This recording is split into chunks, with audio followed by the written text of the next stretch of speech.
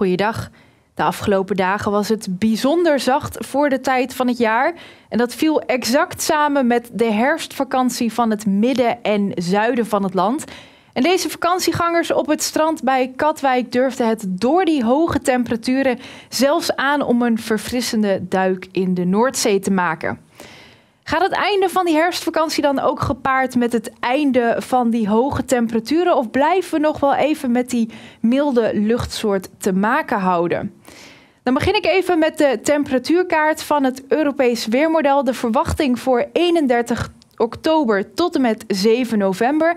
En dan valt op dat vooral boven Centraal- en Oost-Europa, ook wel boven het noorden van Europa, echt een behoorlijke temperatuurafwijking wordt berekend. Zo'n 3 tot 6 graden boven het gemiddelde voor de tijd van het jaar. In Nederland bevinden wij ons net een beetje aan de rand van die bel met hele warme lucht. Hebben we het over een temperatuurafwijking van zo'n 1 tot 3 graden boven het gemiddelde.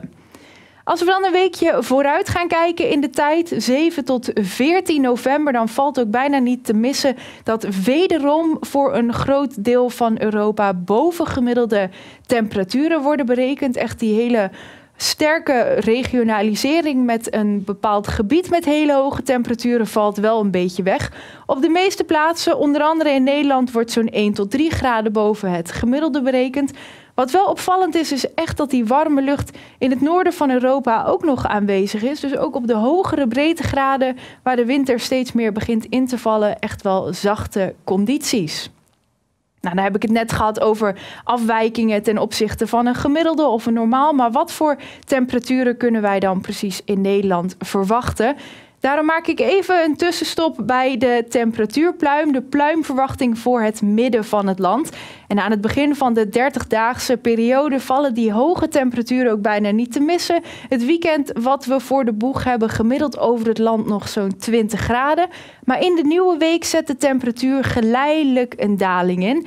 Begin november is zo'n 11 of 12 graden smiddags gebruikelijk voor de tijd van het jaar.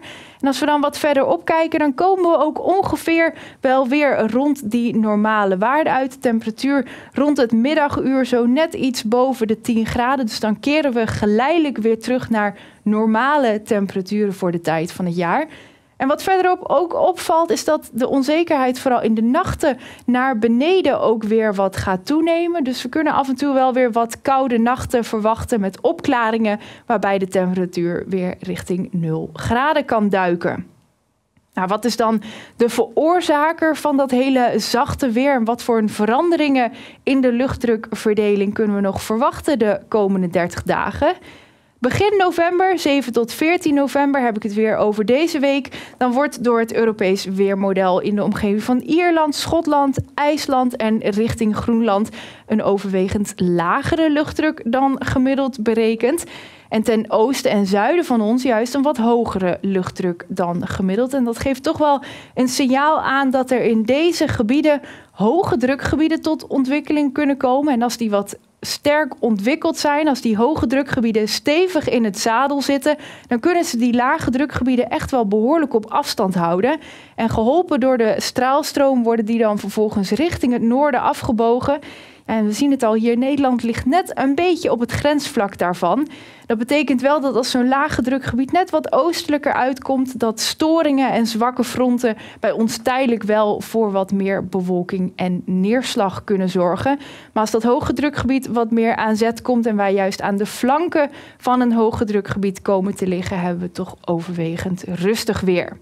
Nou, wat bij die luchtdrukverdeling ook komt kijken, is de stroming die daarbij op gang komt. De windrichting.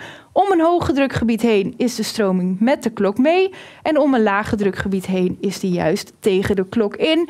En een beetje in dat niemandsland daartussen komt dan juist een zuidelijke of zuidwestelijke stroming op gang. En daarmee wordt dus die hele milde lucht vanuit Noord-Afrika en Spanje onze kant op gevoerd.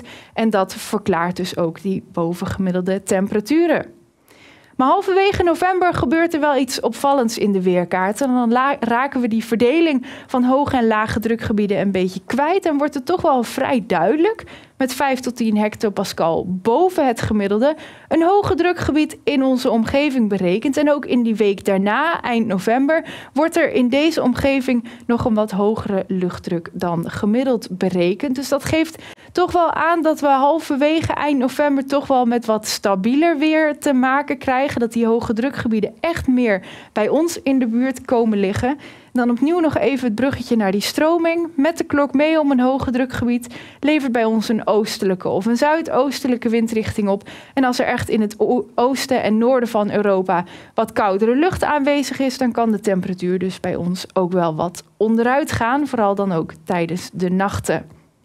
Nou, Zo'n hoge drukgebied in de buurt, dat levert natuurlijk ook voor heel stabiel en droog weer. En dat vertaalt zich ook terug in de kaart met een neerslagafwijking zo'n 0 tot 10 mm onder het gebruikelijke. Dan nog eventjes samenvattend. Vooral die eerste twee weken van de 30-daagse hebben we nog met zacht herfstweer te maken. Zuidelijke, zuidwestelijke winden die hele milde lucht aanvoeren. Maar geleidelijk wel een temperatuurdaling richting die normale waarden. En in die overgangsfase blijven dus wel iets boven het gemiddelde uitkomen. Maar is van uitzonderlijk zacht weer geen sprake meer. En vanaf half november dus meer invloeden van hoge drukgebieden bij ons in de buurt. Koudere nachten en ook wel een wat grotere kans op nevel en mist. Maar daarbij blijft het dus wel overwegend droog.